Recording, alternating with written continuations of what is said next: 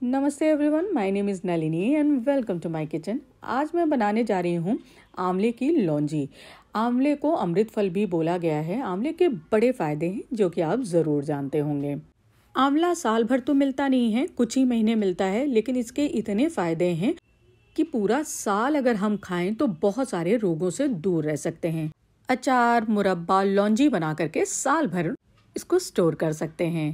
आंवले की लौंजी या खट्टा मीठा अचार बनाने के लिए मैं यहाँ आधा किलो आंवला ले रही हूँ और इसको ना खोलते हुए पानी के अंदर डालूँगी।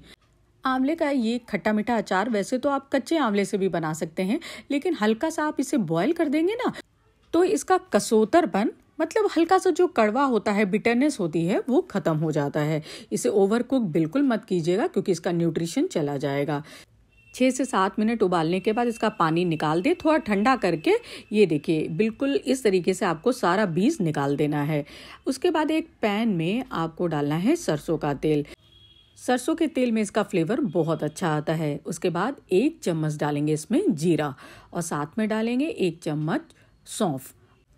एक छोटा चम्मच कलौंजी डालेंगे। देखने में बहुत अच्छा लगता है। और साथ में हींग। हींग मैंने एक चौथाई छोटा चम्मच डाला है और एक छोटा चम्मच मैंने डाला है कश्मीरी लाल मिर्च। इससे रंग बहुत अच्छा आएगा। अब इसके बाद आंवला डाल देंगे, जिसकी फांके हमने इस तरीके से अलग कर ली थी। अच्छा सुनिए, एक चीज़ याद दिलाती हूँ। अगर नलिनीस किचन पर नए हैं तो चैनल सब्सक्राइब कर लीजिएगा। और अगर आपने ऑलरेडी सब्सक्राइब कर रखा है तो वीडियो को लाइक शेयर करना ना भूलिए। आंवले को अच्छे से मिक्स करने के बाद इसमें डालना है हल्दी पाउडर, एक छोटा चम्मच। एक टेबल स्पून डालेंगे धनिया पाउडर और एक छोटा चम्मच काला नमक और आधा छोटा चम्मच नमक। नमक टेस्ट के अकॉर्डिंग कम ज़्यादा आप यहाँ पे कर सकते हैं। सिर्फ़ देखने के लिए अच्छा लगे, इसके लिए मैंने यहाँ चिली फ्लेक्स डाला है, ये पूरा ऑप्शनल है। अब यहाँ एक सबसे ज़रूरी चीज़ डालना है सोंठ पाउडर मैं यहाँ डेढ़ चम्मच डाल रही हूँ। अब इन सारी चीज़ों को दो से तीन मिनट इस तरीके से मिला करके पका लीजिए। बहुत जल्दी ये आंवले की लौंजी तैयार होती है और इसे तकरीबन आप छः महीने के लिए स्टोर कर सकते हैं। अच्छा कमेंट सेक्शन में ये बताइएगा, क्या आप भी ये आंवले की लौंजी बनाते हैं? इसके बाद में 150 ग्राम से लेके 160 ग्राम तक होगा ये गुड़, जिसे मैंने एकदम पतला पतला काट लिया है। काट लिया मैंने, चाकू से इसको रफली चॉप कर लिया था। गुड़ को हमेशा फोड़ करके ही डालें, इससे आपका कुकिंग टाइम बचेगा। गुड़ जैसे जैसे पिघलेगा, हल्का सा आप देख रहे होंगे, ये तरी जैसा हो जाएगा।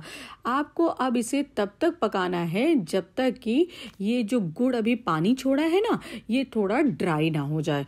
ये देखिए, खोलने लगा है और इसे दो से तीन मिनट हुआ है अभी खोलते हुए। अब ये पक चुका है काफ़ी अच्छे तरीके से। इसे बहुत ज़्यादा गाढ़ा मत कीजिएगा, क्योंकि जब आप इसे रखेंगे ना, ठंडा होगा, रूम टेम्परेचर पे आएगा, फिर ये और गाढ़ा हो जाएगा। इसलिए मैं इसे बहुत ज़्यादा कुक नहीं करूँगी। टोटल मैंने पाँच मिनट के लिए इसको पकाया है। अब मैं गैस को बंद कर दूँगी और इसको ठंडा होने दूँगी। थोड़ा रूम टेम्परेचर पे आएगा, तभी इसको किसी बॉटल में स्टोर करूँगी। ये देखिए, काफ़ी ठंडा हो गया है। लुक एट दिस कितना सुंदर लग रहा है ना? आपने आम की लौंजी खाई है ना? एक बार ये आमले की लौंजी खा के देखिएगा, मज़ा आ जाएगा।